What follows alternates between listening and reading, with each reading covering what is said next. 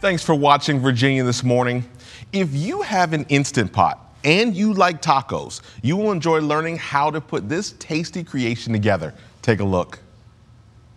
Today I'm going to be showing you how to make one of my favorite recipes in my cookbook. This is my Instant Pot shredded beef. And this is one of the most versatile recipes. You can use this as tacos, you can put it on top of a salad, on a taco bowl, whatever you want to do, even eat it on its own with a side of pico. But today I'm going to be showing you how to put this together into my favorite grain-free tacos. And the meat itself is very easy. It's very simple to do. We've gone ahead and started our Instant Pot and set it to saute. And I'm going to go ahead and add one tablespoon of avocado oil and let that start to heat up a little bit.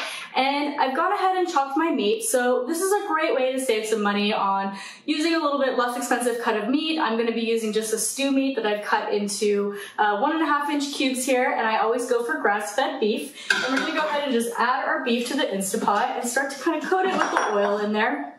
And it's very simple. We're just gonna add one tablespoon of garlic powder, we're going to add one tablespoon of onion powder, and I have a teaspoon of sea salt, and that's it. We're just gonna go ahead and coat our meat, make sure the seasoning gets all over it, and then go ahead and start to brown it while it's here on the saute function.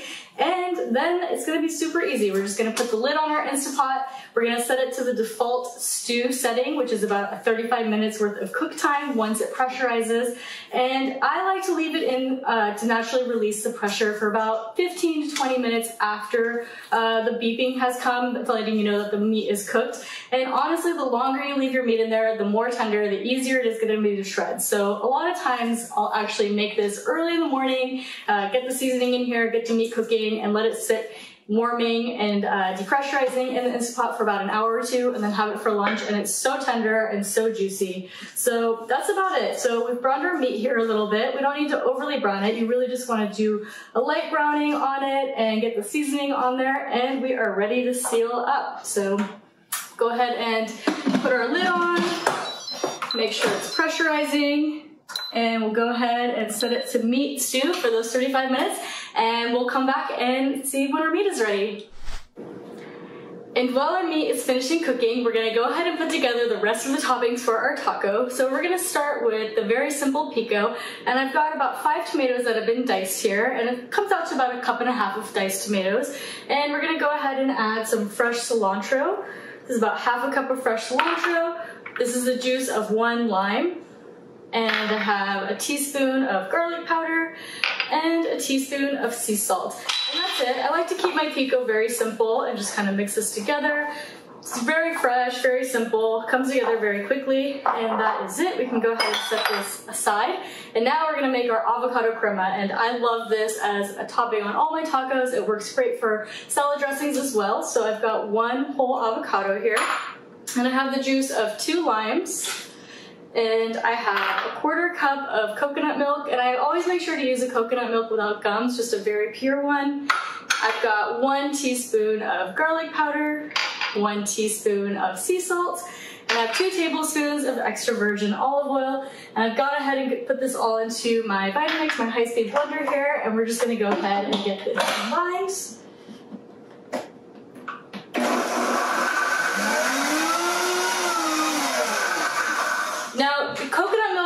Does make this sauce a little bit thick, so I like to use a little bit of water um, to make sure that that gets thinned out to the consistency I like. Now, it's all about personal preference. If you like a little bit of a runnier sauce, you can add some more water. I like to do just a little bit at a time until I get that perfect consistency that's gonna sit well on our tacos but not drizzle everywhere.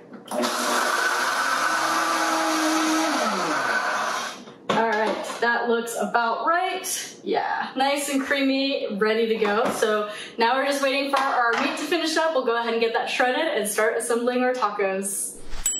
All right, and our meat is out of the Instapot and ready to shred and assemble our tacos. So I've gone ahead and put it here on my cutting board. And my favorite way to shred it is just to use two forks. And then you really just kind of go through the meat and just you know, shred it apart. It's very tender, so it comes apart very easily. And I reserve a little bit of the sauce that's still in the Instapot. You can always put that on the meat, especially if you're just having the meat on its own or having it with a salad or a taco bowl. Um, for the tacos, I do like to keep it a little bit drier just because we're gonna be putting all our other taco taco uh, toppings on it. So I'm gonna go ahead and just shred a little bit here to show you how to do that. And then let's go ahead and assemble one of our tacos. So I've gone ahead and heated up some of my grain-free tortillas and I'm using almond flour ones. There's also cassava flour ones, there's coconut flour ones, plantain flour ones on the market now. So it's very versatile ways to keep this grain-free. And we'll go ahead and just get some of our shredded meat here and pile that into our tortilla shell. And then here's where the magic happens. I like to do the pico next, so we'll just go ahead and put sprinkle of the pico on here. And last but not least, our avocado crema. And just like to drizzle that on there. And our tacos are ready to go. They're so good. You're gonna wanna live off of this recipe. You can get the pico, the avocado crema, and the, the, shredded meat all in my cookbook, Wandering Palette, which is available on my website and on Amazon as well. Boy, Erika really delivers. Yes, I, that instant pot really gets it done. We we actually had uh, my my wife made pot no beef stew. She corrected me. Okay. I called it pot roast. It wasn't. It was beef stew. She made beef stew last night in the instant pot, yes. and it was 45 minutes. Mm-hmm. 45 minutes. The meat was dropped off the bone. The potatoes were super soft. I mean, it was great. And we love tacos too. So this is going to be a great recipe uh, to look at because it just like it really is magic. Like you don't have to yeah. do all this work anymore. The biggest hurdle for a certain someone was getting over the whole like pressurization mm. and then like the steam release. I was terrified. I was just talking with you about Shane Rogers, Shamefully Delicious. She mm. got me over the speed bump of right. using this Instant Pot. She showed us how to do it on the show. This has been a couple years now, okay. and there was like no looking back yeah. after that. What's the difference between beef stew and pot roast? Oh, no. I, I think is I one think, saucier? Well, no, I think part of it is, and I'm sure someone will correct me, uh, but uh, it's the type of meat you use. Oh. Also. A stew meat uh, versus a roast meat? Right. I don't Did know. Did you just make that up? yeah, I think yeah, beef stew. It's a different kind of beef. I think also how it's cut up or some. Yeah. Someone will come in to think about think about He's being like, on TV. And somebody's going to correct me. I depend uh, on, on this. this. So, but yeah, I think that's the difference. Um, and then I'll get clarification yeah. uh, after we come back. Sort of like on Friday when we didn't know where pastrami came from, and thankfully Valina Dixon was right, watching and said, "It's beef, you two." Um, Someone text my phone right now if you know me in real life uh, and tell me the answer to that question. I made a pot roast. And it, it was a, they called it pot roast in the recipe. Right. So I made a pot roast the weekend prior in okay. the instant pot, and I tell you what, it's like there is no looking back. Once you've done it in that particular machine, mm-hmm. Mm-hmm. it's really, I know, I'm just. Well, it's really... a new version of the. Remember, the crock pot yeah. was great, yeah. but it was four hours, mm-hmm. five hours. So you'd really throw it on at 10 a.m. in the morning to then have dinner in the evening.